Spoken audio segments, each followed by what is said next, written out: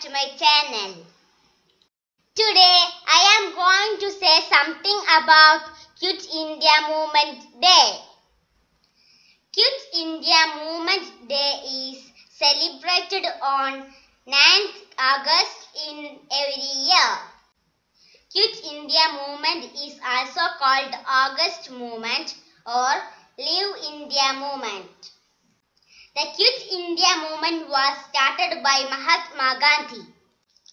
It was started in a speech in Bombay, where Gandhiji asked to the people to do or die.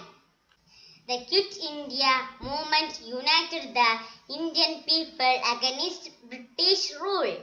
So I wind up my speech. Thank Support me. Bye bye.